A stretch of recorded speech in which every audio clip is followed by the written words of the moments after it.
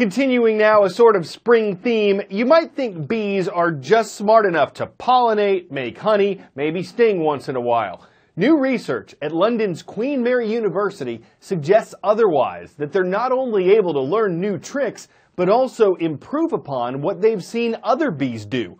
The insect's task was a sort of bee soccer, something they would not have to do in the wild. If they were able to drag the ball to a goal, they'd get a bit of a sugar water as a reward. The study showed that after watching a demonstrator bee score the goal and get the treat, the observer bees quickly learned how to do the same thing.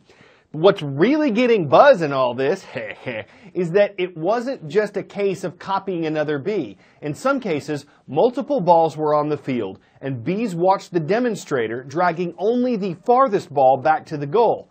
But when given the chance to do it themselves, the observers would pick the closest ball to get the reward with the least effort.